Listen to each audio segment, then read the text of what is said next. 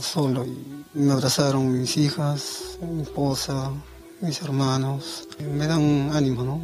Me dan, fuerzas. César Guillén, el taxista que fue cobardemente agredido por Guillermo César Mendoza Malpartida en el Sur Chico, ya se encuentra en casa con los suyos. Le dieron de alta hace dos días, aunque no está recuperado del todo, y convive con las secuelas de la brutal golpiza que recibió. Pero todavía sigo con el dolor de cabeza, bueno, el oído que ya no, ya no oigo nada del lado izquierdo, el dolor de espalda, el ojo un poco que me, me fastidia también. El taxista no solo está preocupado por su salud, la angustia por no poder trabajar crece día a día, ya que él es quien lleva el pan a casa para sus tres hijos y su esposa quien se quiebra de tan solo verlo en esa situación. Preocupado por eso, porque debería estar trabajando para que mi familia pueda este, mantenerse. Y... La preocupación le oprime el corazón. Aún no puede voltear la página de lo sucedido la madrugada del 13 de febrero. Eh, claro que como queda un trauma, ¿no? No sé si cambiar de rubro o seguir en taxi, bueno, no sé.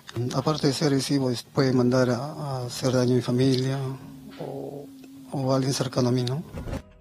Es por eso que César, el taxista, trata de huir de esos escalofriantes momentos que vivió solo por defender su trabajo.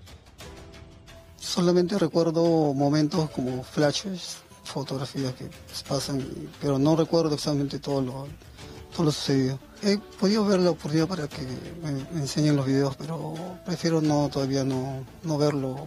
Lo, lo que lamento es haberme cruzado ¿no? con esa persona. Si tiene que pagar por todo lo que he hecho, que la justicia haga lo, que tiene que hacer.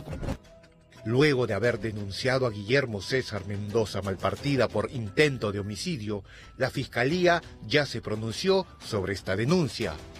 La secretaria de Fiscalía me dijeron que ya había pasado a, la Fiscalía y que el juez que le toque a, en este caso, que, sea, que caiga todo el peso de la ley. Ni siquiera la batería de pastillas que toma menguan su mal, aunque eso sí, él es consciente que su mejor medicina es el aliento y cariño de sus hijos para salir adelante.